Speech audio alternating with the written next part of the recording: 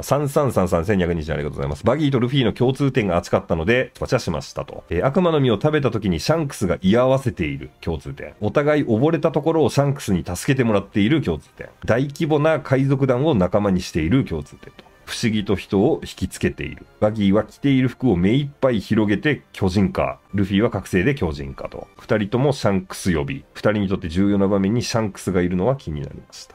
確かになぁ大事なところにシャンクスがいるというか、シャンクスと深い関係だからってことでいいような気がするけどな、どっちも。これを今並べられても、あえて似てるようには、俺はフードフーとフーズフーとか、その、カナボウとカナボウとか、アルビダ編とワノ国編のリンク、モーガン編とかで言うと、1ヶ月ゾロが貼り付けにされてた。で、ヤマトは天の岩戸で1ヶ月耐えたら助けてやるって、どっちも1ヶ月っていう共通点があるとかっていうリンクと比べると、この今並べられたリンクはちょっと綺麗さを俺は感じないというか、これ好みだな。シャンクスが居合わせている。シャンクスだけじゃないしな。ゴムゴムの実を食べた時に居合わせてたのは。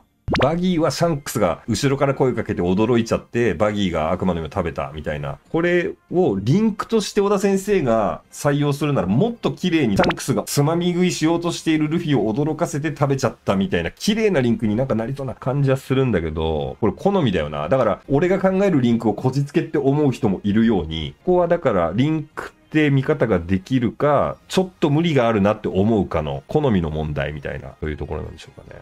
このリンクの好みとは別に、シャンクスとルフィとバギーがめちゃめちゃ深い関係にあって、しかも今はもう4校にその3人がなってるっていうところも考えると、この先はより注目していった方がいいし、最後ね、バギーが海賊王になる未来とかね、コラボ祭りでもどっかで話したりもしましたし、バギーの株はかなり急上昇だし、頂上戦争の時には、このままいったら4校、いや、海賊王になれるかみたいな、そんな言葉を小田先生がバギーに言わせてるってことは、そうなるんじゃないの現実的に、みたいなね。それがいよいよ見えてきたっていうね、4校になったこと。ここはかなり注目した方がいい。バギーが海賊王になるに1万かける。うわ1万っていうのがリアルだな。公開賭博やめなさい。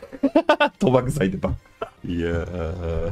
さあ、岩さん600字ありがとうございます。バギーは海賊王になると思いますか？ルフィ海賊王になる。歴史を背負って政府と戦う。その戦いをバギーが全世界配信。えー頂上戦争のスケールアップ。えー、王は世間が誤報。人々はバギーを政府を倒した英雄と勘違い。バギーが海賊王として語り継がれる。ルフィが英雄に興味ないから、こんな展開も面白そうだ。そうですね。これ、懸賞金みんなが30億っていうのが確定して、バギーが4校になったところで、これ結構みんなで言ってたやつですね。バギーが4校になったんだっていうね、25巻のあの表紙の、あれが予言だったことが確定し、四皇に元になったってことは、頂上戦争の時のバギーのセリフで、このまま行ったら、俺4校になれるのか？勢い余って海賊王になれんじゃねえの？っていうのをバギーが言ってたんで、あの言葉を回収するとしたらバギーが海賊王になるのが気持ちいいというか。で、バギーが海賊王になる我々が納得できるストーリーを考えろって言われたら、やっぱり色々あった暁に、最初に黒ひげが海賊王になって、全てを手にして、それをルフィが倒す戦いみたいになって、最終的にルフィが海賊王になったりしそうなんすけど、その全てが終わった暁に、最終的に海賊王って言われるのがバギーっていうね。まあ、ドラゴンボールでいうところのミスター・サタンが魔人ブを倒したことになってるみたいな雰囲気で、ちょっとお笑い、ギャグも踏まえた上で、バギーが海賊王になるっていうのが、まあ考えられるかな。だからこの方が想像してるのと、まあ大体一緒だよね。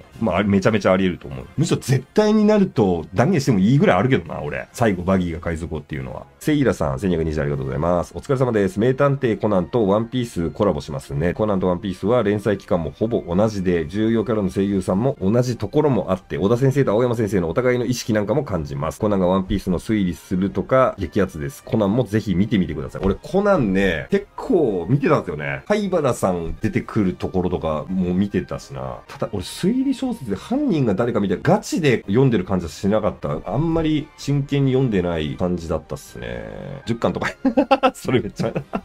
灰原さん結構重要人物でしょ灰原さんでマウントは取れないの灰原さん知ってるで。まだイーストブルーなの。灰原さんっていう言い方がもうにわかかなの。序盤の序盤ですよ。結構経ってから灰原さんという謎の少女出てきた記憶あったけど。ワンピースで言うとシロップ村。そんな序盤ワンピースの考察をコナン君がして、真実は、なんだっけ？決め台詞すら俺覚えて。真実はいつも一つか。変な嵐みたいの来てんな。ちょっと待って。ブロックはするけど。ワンピースの正体はとかってコナンが言ってくれたら熱いよね。確かにね。小田先生。最終章はふざけまくろうと思ってますみたいなことをおっしゃってたらしいんでね。マジでふざけてる要素ないっすけど、小田先生っていうね、1054はマジシリアスパートだったじゃん。戸倉を殺害とか。下ごしらえがシリアスパートで、ここからがワンピースって言ってめっちゃギャグ漫画になるとかね、可能性あるのかなとかね。